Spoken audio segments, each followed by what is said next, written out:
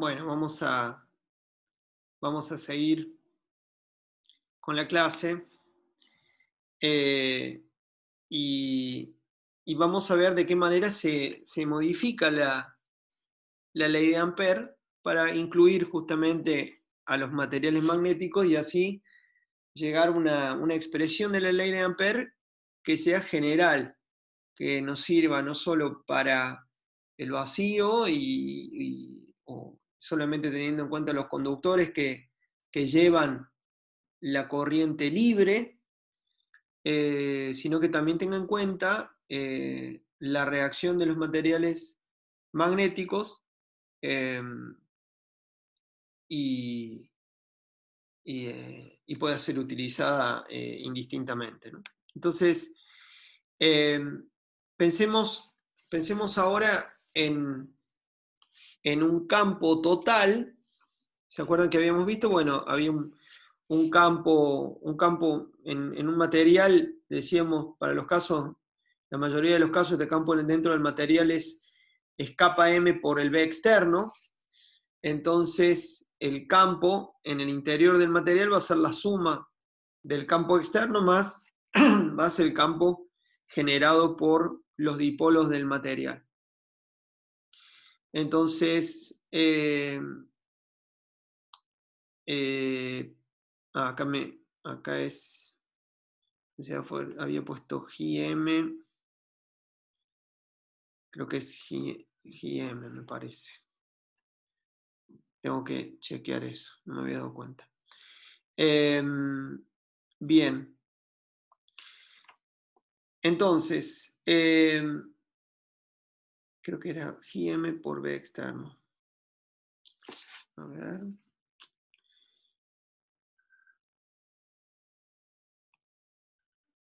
Bueno, ahora lo, ahora lo, corregimos. Creo que esto está bien. Me parece que esto, esto, esto tenía que, revisarlo. Em, sí. Entonces, el, el campo, el campo total entonces va a ser eh, eh, B externo más G sub M por B externo. Y eh, de la misma manera que se había definido para los dieléctricos, tenemos, una, un, tendremos un vector polarización magnética, igual que teníamos el polarización eléctrica, tal que está relacionado con el, campo externo. Entonces, este, como lo era antes el, vector P de polarización eléctrica, bueno, ahora vamos a tener un vector polarización magnética igual a GM sobre mu0 por B externo. Eso no lo, lo vamos, a, no lo vamos a, a ver en detalle, solamente tener en cuenta eso. Entonces, eh, el B total ahora eh, dentro del material va a ser el B externo y tal como estaba definido antes, eh, mu0 ahora por M. ¿Por qué? Porque M lo habíamos definido como GM B externo sobre mu0. Entonces, el, expresando el campo, sí, Sí, eso estoy viendo, estoy viendo si es, estoy viendo si es GM o... Pregunto porque KM había visto que era 1 más XM. Sí, sí, estoy viendo eso, estoy viendo eso. Ahora vamos a ver un segundo. Bien, entonces, recapitulemos. Eh, la susceptibilidad, sí, No, eh, Santiago, yo también me di cuenta y, y, me, y me embrollé yo. Yo creo que porque se me mezcló con otra anotación. Entonces, el campo, ahora está corregido, el campo generado por la polarización del material, ¿se acuerdan? Puede ser positivo o negativo. Eh, perdón, puede ser contrario a la dirección del campo externo o a favor del, del campo externo. Entonces, ese factor es GM, la susceptibilidad. Después ya voy a, después aparte voy a fijarme qué relación hay con el kappa sub m, se me mezcló esa la anotación. Ahora, en la lista, esta que vemos acá, es compatible el valor de G sub, con, con lo que dijimos recién de G sub m.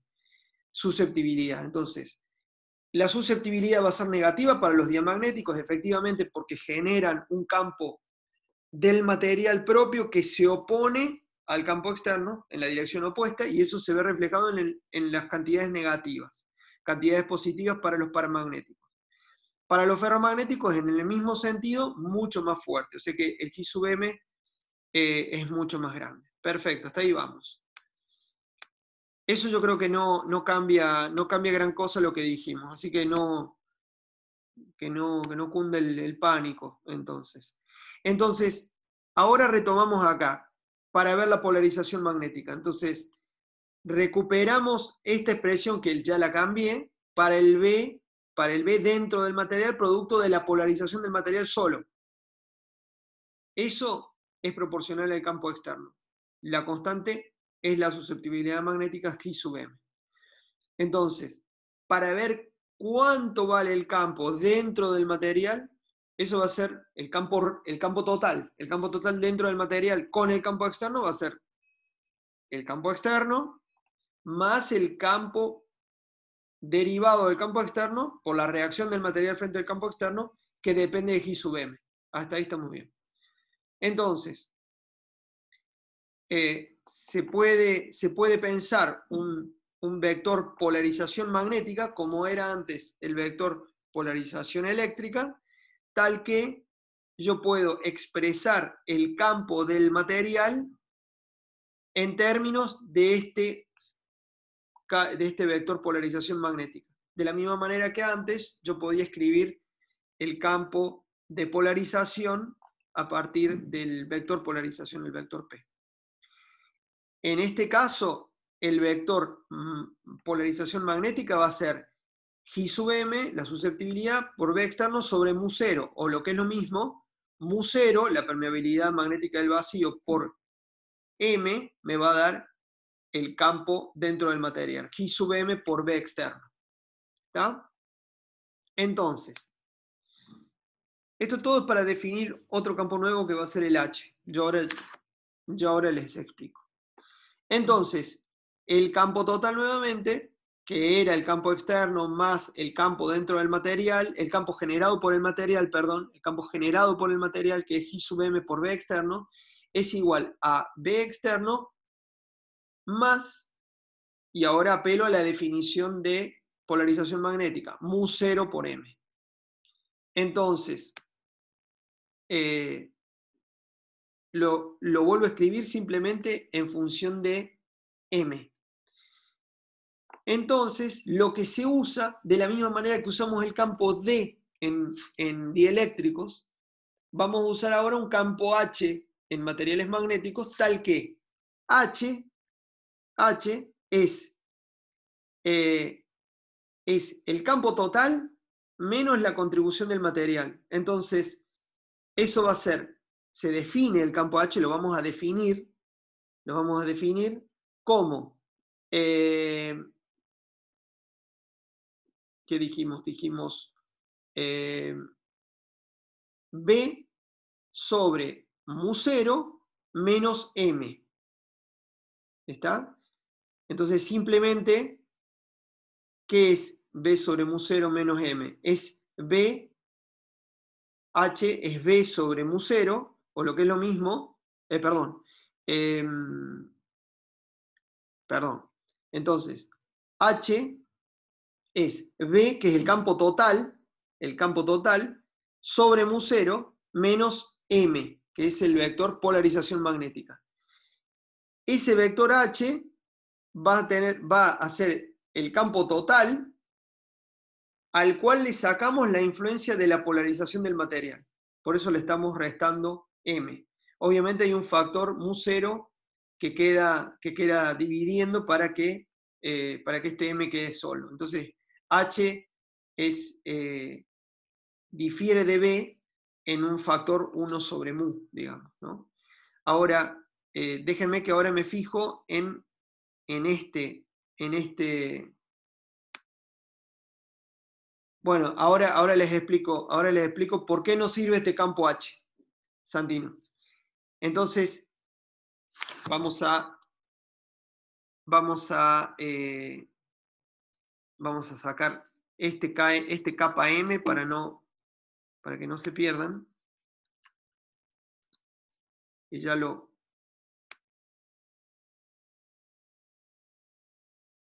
ya después lo, corrijo porque no quiero confundirlo con el KM que dice que era, que un problema. Después lo reescribo. Pero entonces yo voy a definir, vamos a definir ahora un campo H, ya le, parece a Santino y me parece muy bien que, que, diga, bueno, pero ¿para qué sirve este H? Bueno, este H tiene una propiedad muy interesante. Entonces, simplemente defino el H como B, el B total, el B total, la suma del externo más el campo generado por el material, sobre mu 0 menos ese vector M. Lo defino así. Bueno.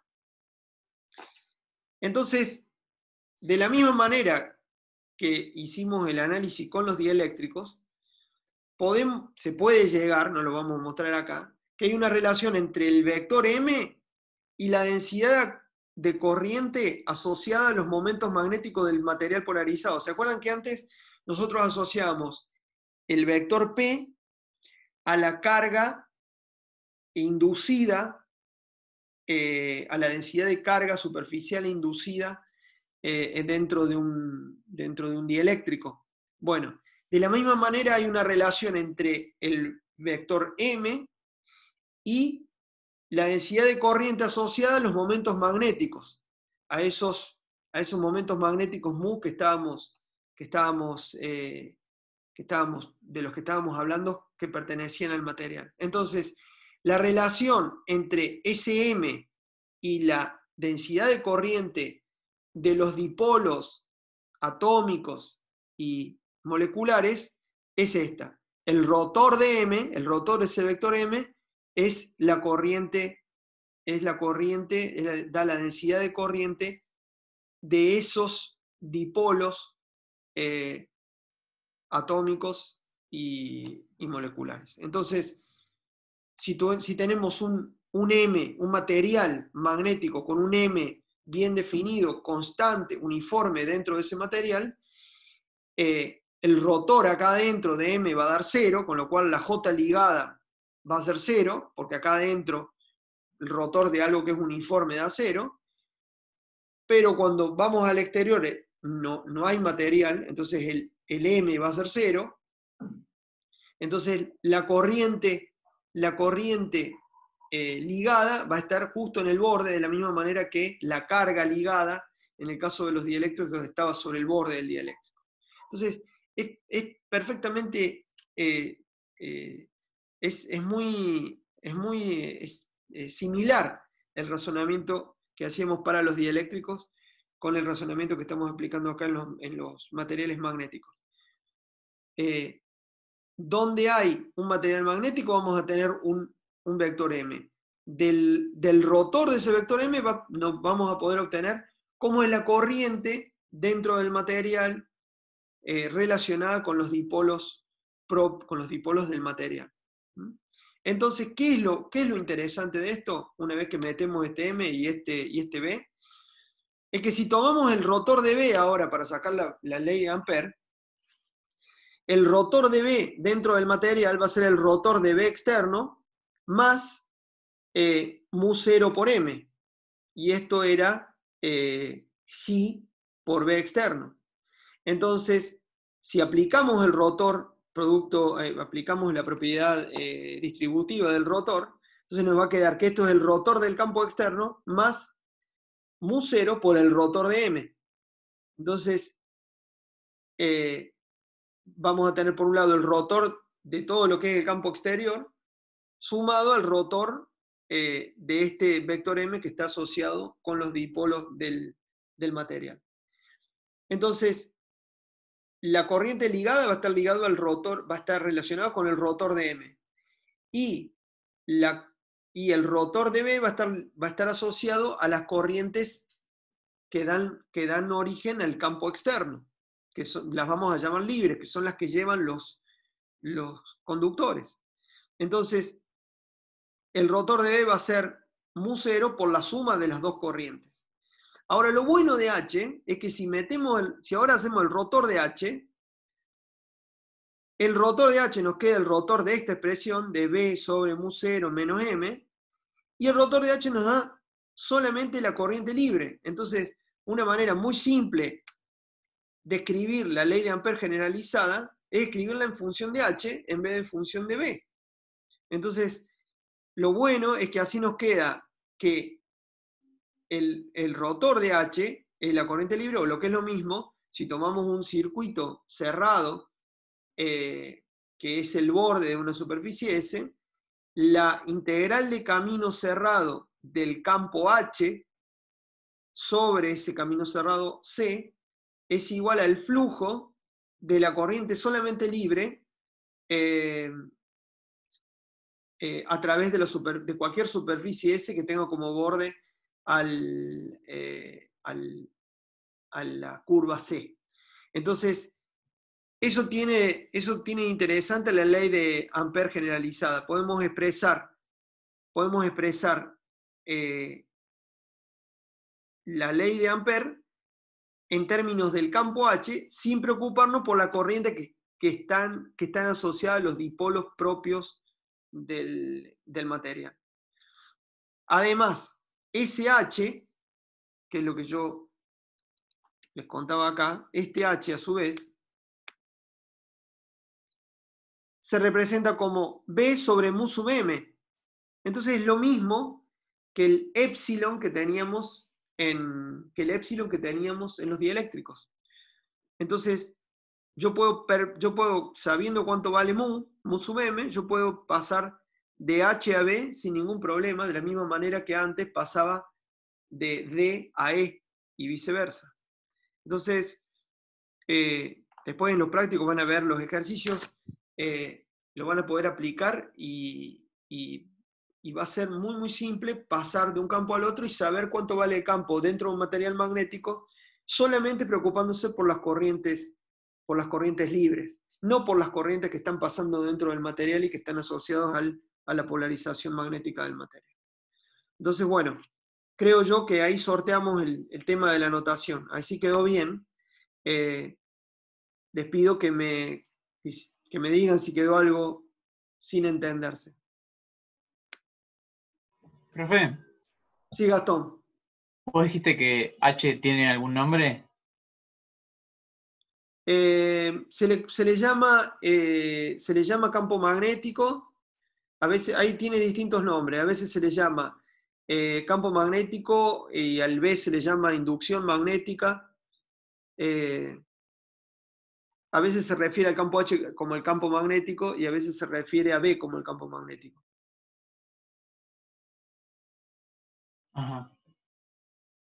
Vos decís si tienen un nombre específico.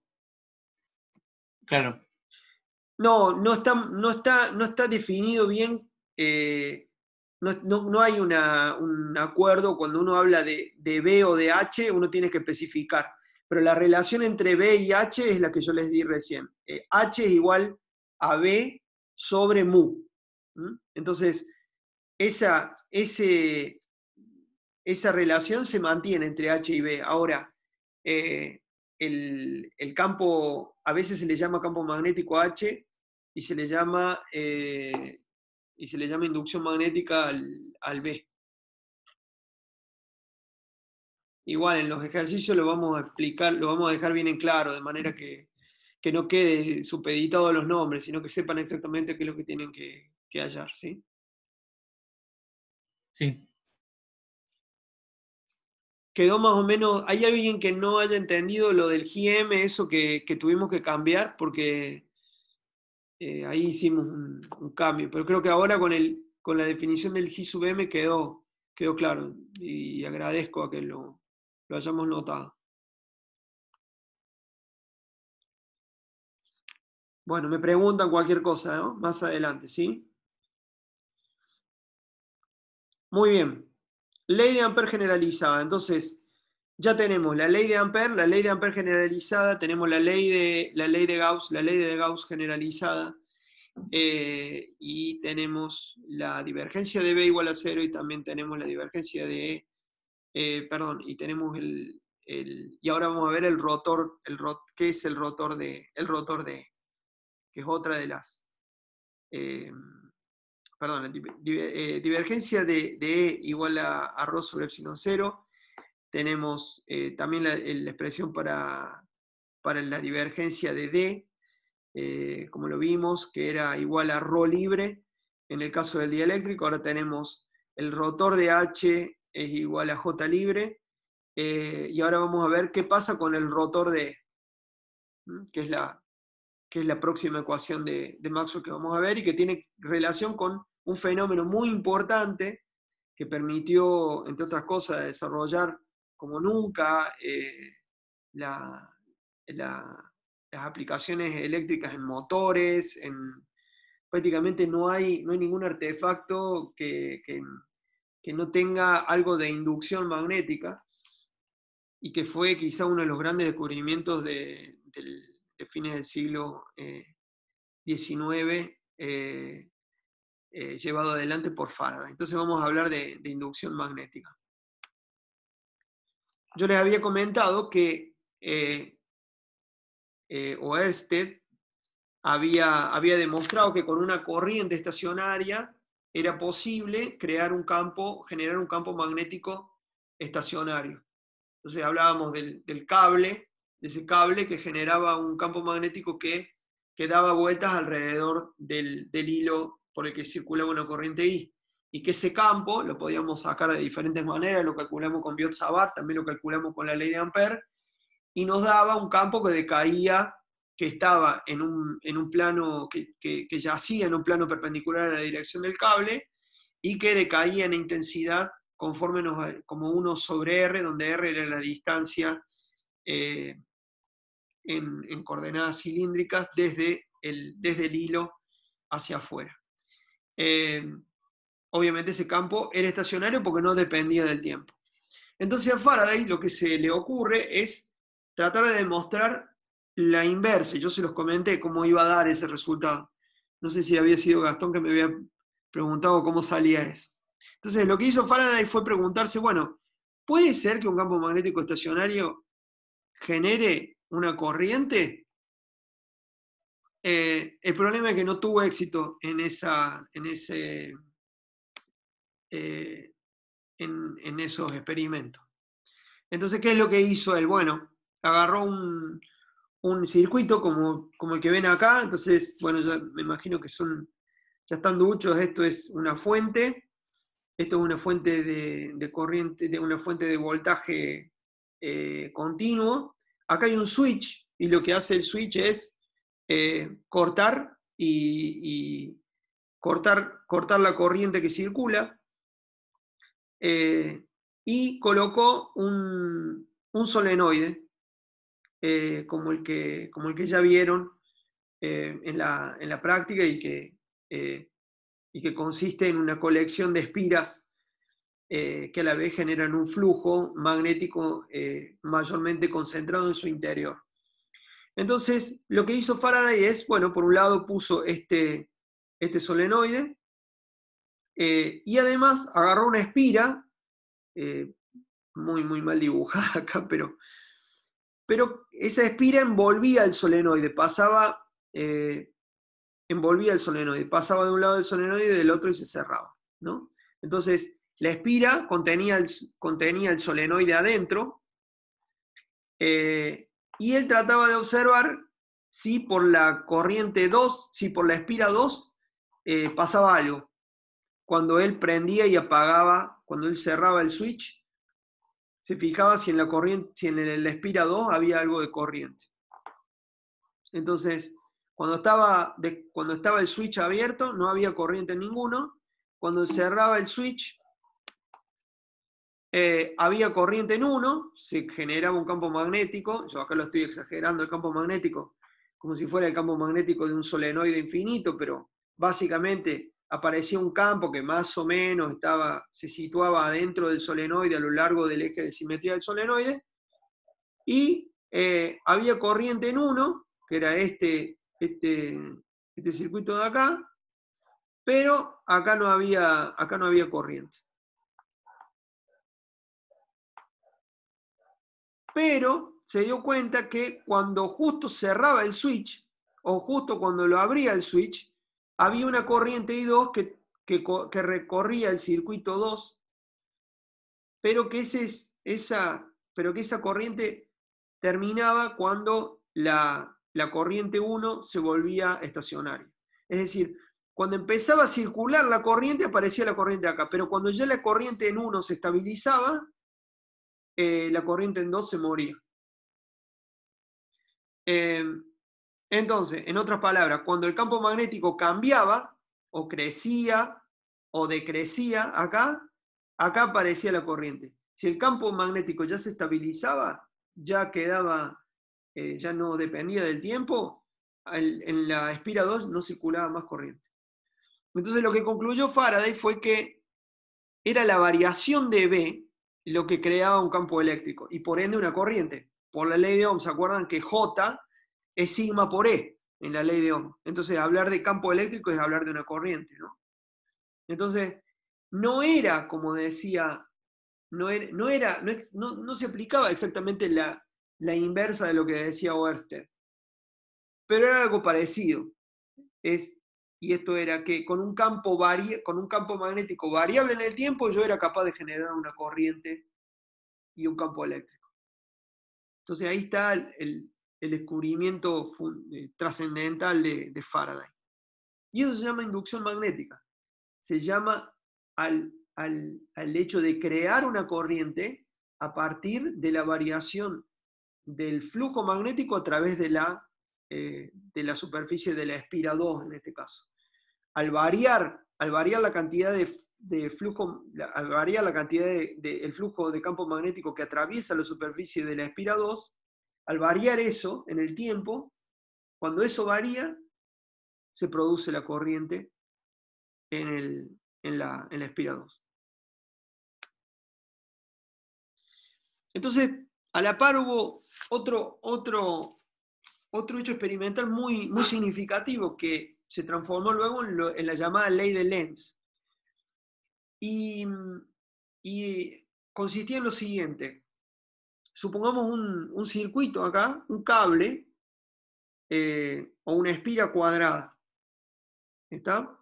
Entonces, una espira cuadrada y tenemos un, imán que, eh, donde el polo norte del imán eh, desde el polo norte salen las líneas de campo y vuelven a entrar por el polo sur. Perfecto. Entonces, ¿qué es lo que pasaba? Si dejábamos el imán, si el imán quieto, en esta, en esta espira no había, no había eh, corriente. Ahora, si movíamos, si acercábamos, alejábamos el, el imán, se generaba una corriente en la espira. En particular, si acercábamos el imán, el polo norte del imán, a la espira, aumentaba el flujo magnético a través de la espira, es decir, la cantidad de líneas que atraviesan la superficie encerrada por el borde de la espira, la cantidad de líneas de campo era mayor, entonces eso generaba una corriente en esta dirección. Si acercábamos, generaba la corriente en esta dirección. Si alejábamos, la corriente giraba, eh, eh, corría en la dirección contraria. Entonces, acercando el polo norte, es decir, aumentando el flujo, la corriente corría así, alejando y disminuyendo el, alejando el polo norte, o lo que es lo mismo, disminuyendo el flujo magnético, la corriente fluía al revés. Entonces, a ver si, si, si en la espira, en este caso, en este caso, por ejemplo, me pueden decir si ahora olvídense del, olvídense del, eh, del imán, una corriente así, como la que está circulando acá, ¿Para dónde da el momento magnético? ¿Para arriba o para abajo? Por la regla de la mano derecha. Ahí está, ahí está Santiago, perfecto, da para arriba. Entonces, cuando yo acerco, es como que crea, como que se crea en la espira una corriente que crea un, momento magnético que se, que se, opone al aumento del campo. Es como, que se, es como que le lleva la contra a la espira. Y fíjense acá, yo alejo, alejo, con lo cual alejo el, el polo norte, con lo cual el flujo magnético decrece, y acá el sentido de la corriente es distinto. Y acá el mu apunta para arriba o para abajo.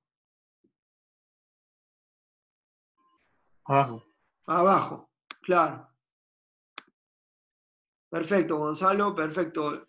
Muy bien. Entonces, es como que la espira se opone a... Es como que la espira se opone al cambio de flujo que genera el acercar o el alejar eh, el imán eh, a la espira. Entonces, eh, ahí debe haber un menos. Eso es lo que quiere decir la ley de Lenz. La ley de Lenz dice que si vamos a relacionar el flujo magnético con la corriente inducida, tiene que haber un menos en el medio. Que, que aumentar uno haga que haya una respuesta negativa del otro lado. Entonces, esta ley de Lenz va a aparecer en la ecuación de, en la, ecuación de inducción como un menos. Eso va a ser todo el, toda la contribución. Entonces, ¿qué hemos hecho? ¿Qué hemos hecho? Hablemos ahora en términos de FEM. ¿Se acuerdan que yo les dije la FEM, la fuerza electromotriz, es, eh, es algo que pone en marcha un circuito a partir de un principio que no es, eh, que, no es eh, que puede ser, por ejemplo, en el caso de la pila voltaica, era un proceso químico. O inducción, les dije. Entonces, esta es la otra manera de generar FEM. ¿Por qué? Porque puse, puse en marcha cargas. Moviendo un imán, puse en marcha cargas. Las hice correr. Y ahora yo puedo tranquilamente acá poner una resistencia y armar mi circuito como quiera. Entonces, en vez de tener una batería, tengo un, imán que se acerca y se aleja y con eso me crea una corriente. Ahora, esa corriente va a durar mientras cambie el campo magnético. De en el momento que yo frene el imán, se acabó la corriente, no circula más nada. Entonces, eh, voy va, va, a haber una FEM inducida Santino, pero la corriente va a estar todo el tiempo cambiando de sentido y depende, depende cómo mueva yo el, imán. Eh, una manera muy buena de, hacer eh, un circuito de corriente alterna, como lo que vamos a ver, y que la corriente alterna es la, que caracteriza nuestro, a nuestro sistema eléctrico en nuestras casas, eh, se basa en eso, se basa en corriente que fluye en un sentido y en el otro. Pero también yo puedo hacer que crear una corriente continua eh, a partir de eh, mover un, imán de tal manera que siempre el flujo magnético a través del, área de la espira esté variando en, la, en, la, misma proporción de manera de producir siempre una corriente en el mismo sentido. ¿Mm? El tema es, tenés que, hay que cambiar el flujo no queda otra. Para crear algo de corriente por inducción tenés que cambiar el flujo, no te queda otra. Ahora, queda vos decir si querés aumentar o disminuir el flujo continuamente, con lo cual vas a ir cambiando efectivamente de dirección de la corriente, o bien tener algún dispositivo que te permita siempre hacer variar el flujo en una sola dirección. ¿Está bien? ¿Se entendió?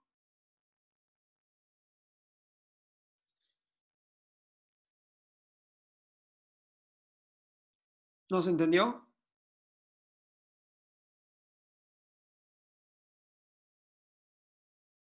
Perfecto, perfecto. Bien, entonces, si yo pongo ahora una resistencia, la FEM, la FEM inducida, voy a poder definir una FEM inducida como la corriente inducida por la resistencia. Entonces, eh, Faraday halló que esa FEM, esa fuerza electromotriz, era proporcional al cambio de B, anotó. FEM inducida proporcional a dB a dt, a la variación de B respecto al tiempo. Y al área de la espira en la que se induce la corriente. Entonces, encontró por un lado que la FEM inducida era dt, era proporcional a dB a dt, y la FEM inducida era proporcional al área. Entonces, cuanto más grande el área, más grande era la FEM inducida. O sea, cuando yo agrandaba el área de la espira, más grande era la FEM. Cuando yo cambiaba más rápido el campo, más grande era la FEM. Cuando lo cambiaba más lento, más chica era la FEM.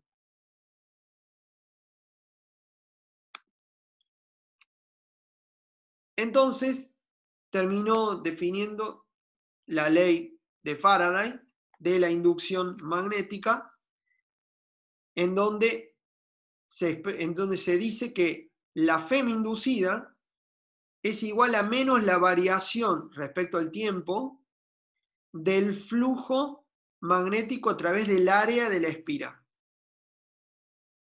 Entonces, eso es la derivada, es menos la derivada parcial respecto al tiempo, tiene que depender explícitamente del tiempo para que la derivada parcial funcione, del flujo magnético a través del área, de una, del área de la espira, en este caso el área S.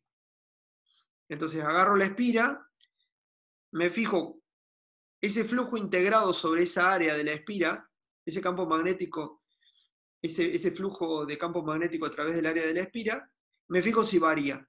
Si crece, si crece porque crece A o crece porque B, B aumenta, o por las dos cosas, tomo la derivada de ese flujo, le pongo un menos y eso va a ser la FEM inducida. Bueno, el menos ese que está ahí, es el de la ley de Lenz. El, menos es, le llevo la contra. El, menos quiere decir, me opongo a ese cambio y creo una corriente tal que me generaría un dipolo magnético que se oponga al aumento, que se, oponga a la variación del, flujo. Eh, y ese, es más, ese más general es cualquier superficie limitada por la espira. No solamente la superficie plana en una espira plana, sino que puede ser cualquier superficie limitada por la espira, es más general. Entonces, de vuelta, eh, eh, el, sentido, el, sentido del, del, del recorrido de la el sentido del recorrido de la corriente va a ser opuesto al del, al o al del aumento del flujo, de, al, de la variación del flujo a través de la superficie.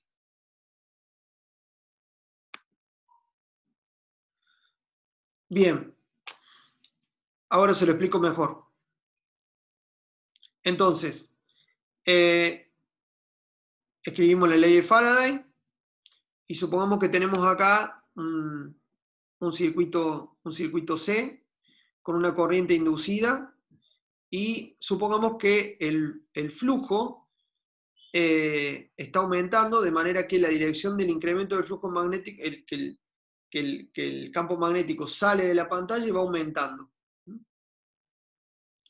Eh, entonces, la corriente inducida, esta corriente inducida, va a generar un momento magnético que se mete hacia adentro de la pantalla. Entonces, la dirección va a ser tal que se va a oponer a la dirección del crecimiento del flujo magnético. Si, el campo magnético va aumentando en la dirección hacia afuera de la pantalla, la corriente inducida va a ser en sentido, en este caso, en sentido horario.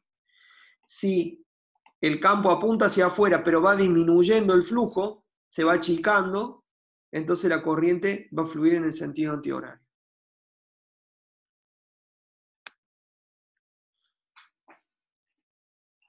Ahora bien, por ley de, por ley de Ohm, la corriente inducida va, va a estar relacionada con un campo eléctrico inducido. Entonces, eh, eso quiere decir que entonces la integral de camino cerrado de este campo eléctrico inducido a lo largo, la integral de camino a lo largo de ese camino C, tiene que ser igual a la FEM inducida. Entonces, la FEM inducida va a ser igual a la integral del campo eléctrico inducido a lo largo del camino C, y eso igual, por ley de Faraday, a menos la derivada respecto al tiempo del flujo magnético a través del área encerrada por la espira.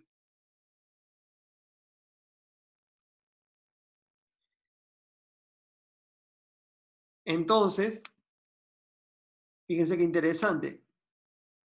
Esto lo podemos replantear ahora con el campo inducido como Stokes, a partir del teorema de Stokes. Entonces, el, ahora la integral de camino del campo eléctrico inducido a lo largo del camino C, este que está acá, es igual al flujo del rotor de E inducido a través de esta superficie. Con lo cual, el rotor de E inducido va a ser igual a menos la derivada de B respecto a T. ¿Por qué? Porque vamos a poder igualar esto con esto. Igualamos esto con esto. Y ahí sale la versión diferencial de la ley de Faraday.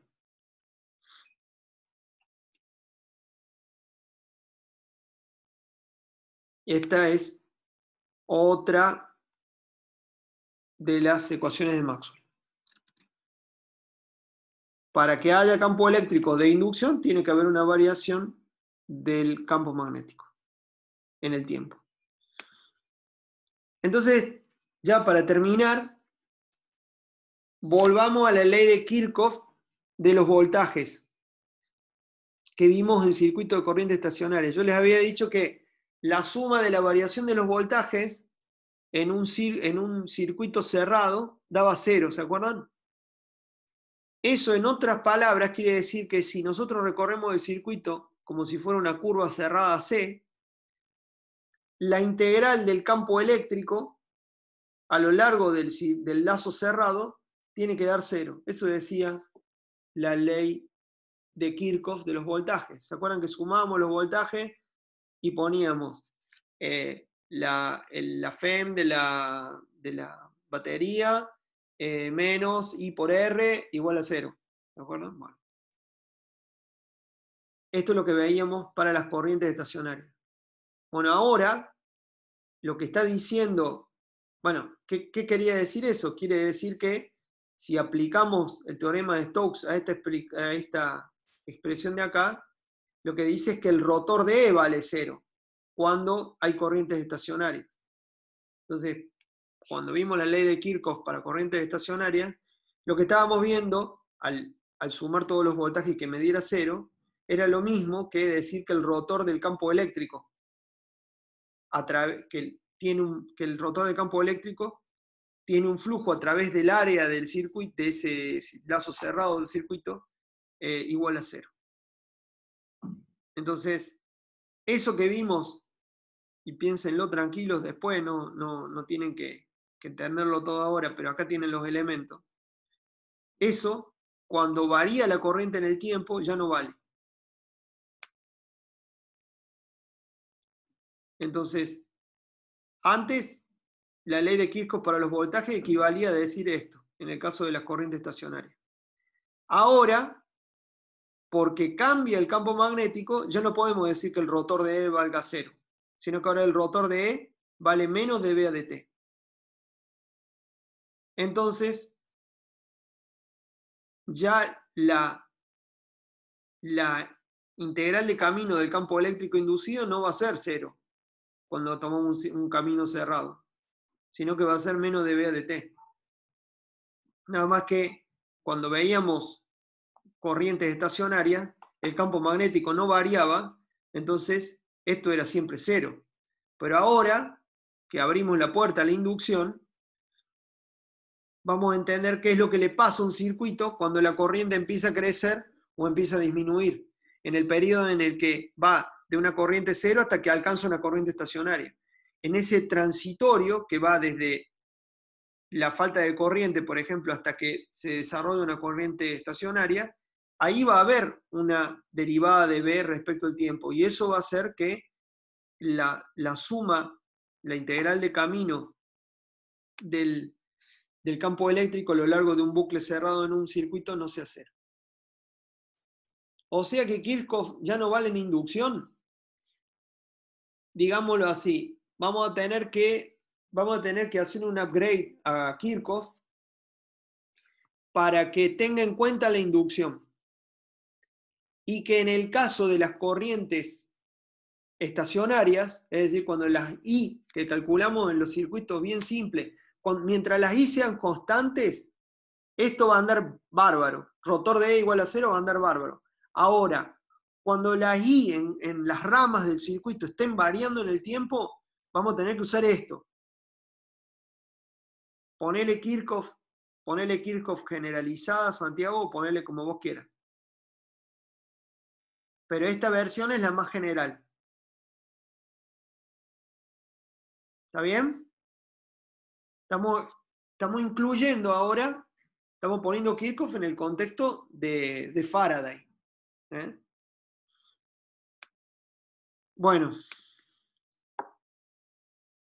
Estamos con esto, yo creo que ya pueden, ya pueden encarar el, el, eh, el lago de, mañana y pasado, lo pueden, lo pueden encarar sin, teniendo ya una base, que era lo que queríamos eh, con, con, la gente del práctico. Así que, así que bueno, preguntas, dudas, yo ahora voy a revisar lo del, lo del así que eh, voy, a, voy a subir la, versión corregida, así que no se preocupen por eso. Eh, ¿Alguna otra duda? La inducción no es fácil de entender porque es algo antiintuitivo. Es interesantísimo, pero es algo intuitivo, así que si algo que no haya quedado claro, me avisan. Profe. Sí, Gastón. En un momento apareció una fi mayúscula sub B larga. Sí, eh, sí, el flujo, flujo magnético. Eh, acá está. ¿Está?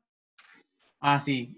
Ok, gracias. Ese flujo es, ¿te acordás cuando vos calculabas el flujo de E en, en calcular el flujo E eh, de E en, en, Gauss? Bueno, ahora hace lo mismo ahora es lo mismo con el flujo de B a través de la superficie en ser, que, queda encerrada por el circuito, donde va, donde va a correr la, la corriente inducida. Ok, gracias. Entonces, fíjense, hagamos un, ejercicio de, imaginación. Eh, imagínense un, un, eh, un solenoide un solenoide les mostró, les mostró la, gente del práctico, les mostró que un solenoide son como tomar un montón de, espiras, una pilada encima de la otra, como si fuera una, una capa de, una torre de panqueques, digamos. Entonces, fíjense, cuando tomamos una espira y cuando tomamos un solenoide, por más que el solenoide tenga el, mismo radio que una espira, vamos a poder acumular muchísimo más flujo en un solenoide que en una sola espira. Entonces, hay maneras de aumentar de manera, de manera, de manera muy significativa el flujo magnético utilizando solenoides en vez de utilizar eh, una sola espira. Y eso está buenísimo porque lo que dice es que yo voy a poder acumular FEM voy a poder acumular dando vueltas, tantas vueltas como yo quiera. Entonces piénsenlo cuando vean en el labo, cuando vean el tema de los transformadores. Eso, eso es interesante. Eh, cuando vean los transformadores van a, van, a, van a ver la utilidad que tiene la ley de Faraday. Bien, Santiago, no importa si la S es cerrada porque hay una diapo anterior que estaba como cerrada la ley de Faraday. Ah, a ver, a ver. No, no, no, la S es abierta, ¿eh? La S es abierta es la S de la bolsa, la misma S de la bolsa que tiene un borde que es la, que es la curva S, es la curva C, perdón. Me perdí un poco. O sea, la que me refiero es cuando estaba la ley de Faraday recuadrado en rojo. A ver, dale, si me equivoqué lo, lo, corregimos. Justamente esa. No sé si malinterpreté la simbología. Está bien, hay un error acá, sí señor, está bien. Ahora lo cambio. Muy bien, muy bien, Santiago. Ya dos. Está, filosísimo. Buenísimo. Cambiamos acá. Efectivamente, no es una integral cerrada. Es correcto. A ver, vamos a cortarlo ya y poner. Eh, ahí va. Es una integral abierta. Es una integral abierta, efectivamente. Efectivamente. Eh, doble. Y ahora ponemos eh, B. B. Y ahora que eh, esto Y ahora sí. de A. De A le hemos puesto, ¿sí? De A. De, de A. Ahí está.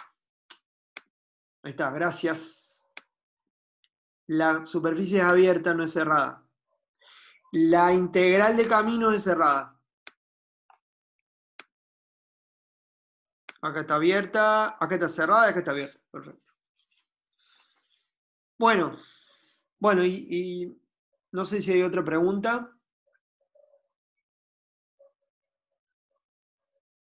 Bueno, les cuento les cuento para cerrar el, tema este de Marte, que tiene que ver con los materiales magnéticos. Em, Marte no tiene campo magnético global, es decir, la, brújula no sirve. Pero, eh, bueno, se cree que eh, tuvo en el pasado, hace mucho tiempo, se cree que hubo un campo magnético global pero que de alguna manera ese proceso de dínamo que yo les contaba que ocurrió en el interior de la Tierra, que ocurre en el interior de la Tierra, de alguna manera se detuvo y ese campo magnético global no pudo sostenerse. La, edad, de, Marte, como de todo el sistema solar, es de 4.5 millones, eh, mil millones de años. O sea, 4.5 por 10 a la 9 años y se piensa que el campo magnético de Marte global existió durante el primer, los primeros miles de millones de años que después se apagó. Pero no se sabía muy bien cuándo, o, a partir de cuándo estábamos seguros de que no había más campo magnético global en Marte. Hoy se sabe que el campo magnético de Marte, hay campo magnético, uno va sobre la superficie de Marte, pone una brújula, la brújula se dobla y hace algo pero es un campo que, está, que proviene de material magnético que está sobre la corteza, pero no tiene que ver con el movimiento de magma en el interior de Marte. Ese campo es muy bajo comparado con el campo que uno tendría si tuviera un campo magnético global, digamos. Entonces, lo que hicieron muchas ondas espaciales, a partir, sobre todo a partir del, año 2000 para, para adelante, fue mapear el campo de la superficie de Marte. Entonces acá pueden ver uno de los, de los una, manera en la que se mapeó el campo, midiendo el campo magnético a más o menos 200 kilómetros de altitud, uno puede ver el campo y extrapolarlo al piso. Entonces acá puedes ver el, polo, creo que este es el polo, el polo norte de Marte. sí, es el norte. Y, esto, y estos, estos colores, esta región que no es azul, es el lugar en donde hay, donde hay campo magnético cortical. Entonces fíjense que hay algunos lugares donde no hay campo magnético cortical. ¿No? Que no hay campo, no está magnetizado. Entonces fíjense, acá en la escala de azul, en la escala esta, eh, campo azul es 0, 5, 10 nanotesla, o sea, estamos hablando de campo muy bajo. Este es una imagen de un altímetro, de un altímetro láser. Entonces, esto es una misión precedente, se llamaba Mars Global Surveyor, con la que yo hice la tesis de doctora. Fíjense esto que interesante. Acá hay dos cuencas de impacto, es decir, lugares en donde vino un meteorito, ¡pum! y pegó, calentó la superficie y dejó una marca, una cuenca. Entonces las regiones desmagnetizadas coinciden con la, con la información eh, morfológica, digamos. Entonces, ¿cuál es la, cuál es la teoría? Bueno, la, teoría es que estas regiones estaban magnetizadas y que en el momento del impacto, la temperatura del material ferromagnético que forma parte de la corteza de Marte fue elevada por encima de la temperatura de Curie en ausencia ahora, entonces por encima de la temperatura de Curie se transformó en un material eh, paramagnético, pero como ya no había más campo afuera que pudiera ordenar esos dipolos paramagnéticos, no se volvieron, no, se, no, dejaron ninguna magnetización remanente. Entonces, básicamente vino el meteorito, cuando golpeó el, impactor, golpeó la superficie, fundió todo eso, desarmó todos los, eh, eh, los dominios magnéticos del material eh, ferromagnético, por encima de la temperatura de Curie desorganizó toda la información de campo magnético, pero no se volvió a magnetizar porque ya no había un campo magnético de fondo que pudiera magnetizar. Entonces, entonces la idea es que al momento de la formación de estas cuencas de impacto, que se pueden datar bastante bien, ya no había un campo magnético global en Marte. Y bueno, hay un paper de, de ahora, de mayo del 2020, en donde se mejora eh, la fecha de, muerte del dínamo o del, campo magnético global de Marte a 3.7 mil millones de años de, para atrás. Eh, o sea que eh, hubo, hubo, algo más de, mil millones de años en donde Marte tuvo un campo magnético propio y bueno, algo pasó que lo perdió. Pero bueno, esto es, algo muy, muy cercano a lo que hago yo y, está relacionado con estos conceptos de eh, eh, temperatura de Curie, desmagnetización y, transformación de un material ferromagnético en un material eh, paramagnético. Bueno, eso les quería contar. Bueno, damos por terminada la, clase de hoy, así que em, vamos a, ver si está por ahí Yamila. Hola, buenas tardes.